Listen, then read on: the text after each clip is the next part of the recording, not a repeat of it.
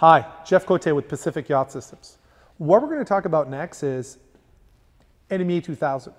And what about NMEA 2000? How do you go installing an NMEA 2000 backbone or network on your boat? As you're buying marine equipment, you'll find that a lot of manufacturers are including these little devices, these T's or these cables, what are called drop cables or backbone cables within their equipment. And you're supposed to figure a way on how to interconnect all this equipment so that you can be transmitting NMEA 2000 data across your many different types of manufacturers' equipment. So when you're actually tackling this project, the first thing that I always recommend is you want to draw this out. Don't go about building your NMEA 2000 network simply from your mind and just tackle it. Because what's going to happen is you're probably going to start creating these loops, these branches, and it's not going to go as well as you'd like. So the best thing is think about all the different devices that need to be on your NMEA 2000 network and probably draw them out at the bottom of a page.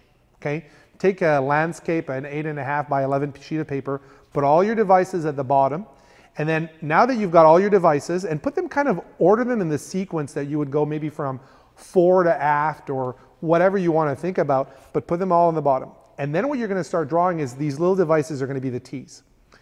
Here's what's the trick. The distance between a device and a T can be only about 18 feet or six meters. So you've got to make sure that your backbone snakes throughout the boat so that any device is only a maximum of 18 or six meters from this T.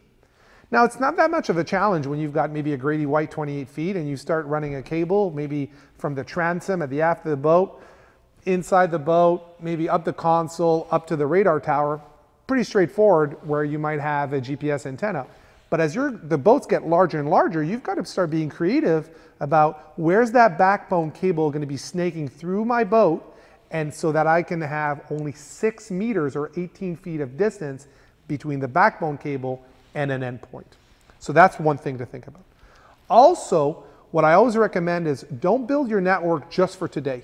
Think about the future, right? When we're actually routing a cable from the engine room and we're maybe going through the salon in a boat and going directly to a flybridge, let's say for example, on a Meridian 490, I'm actually gonna install a cable and I'm gonna have two different cable lengths and I'm gonna actually create, I'm gonna prepare for a splice, meaning I'm gonna have a place where I'm potentially anticipating one day at the lower helm, maybe, to actually have another T be interconnected to. So when you're actually doing an NMEA 2000, don't just do what you think you need today, but look forward. Think about what else you might be putting on your boat. Because that's the beauty of NMEA 2000 is that you can interconnect multitudes of devices on this backbone, right? And so you don't have to run cables from all these different endpoints back to a single point. It's not hub and spoke, it's a bus topology. And that's really nice. Uh, the other thing too is as you add more and more network, you're going to have to think about where do you power that NMEA 2000 backbone. This is a cable generally on average, and there's all these different rules, but on average, you want to power your backbone in the middle of the backbone, and so that the loads are evenly distributed on both fore and aft, left and right of your backbone. You're going to want to make sure as well that you've got terminators. And this is where writing it down and putting a plan is really important. You need a male terminator on one end of the backbone and a female terminator at the other end of the backbone. Don't have more than two. Your network's not going to be reliable. Only two terminators at the end of the backbone. And the other thing too to think about is when you're running your cables between A's and B's on your boat, and I remember the first time I installed that NMEA 2000 network in about 2007, 2008, I made this error, so learn from my mistakes. There's a male end and a female end.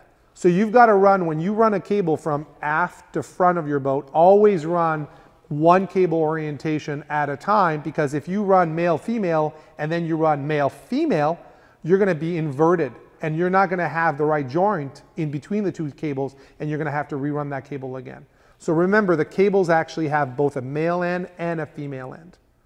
So those are the sort of things that you're thinking about when you're building an NMEA 2000 network. If you've got further questions or you're thinking about tackling this project, reach out to us at Pacific Yacht Systems. Thanks for watching.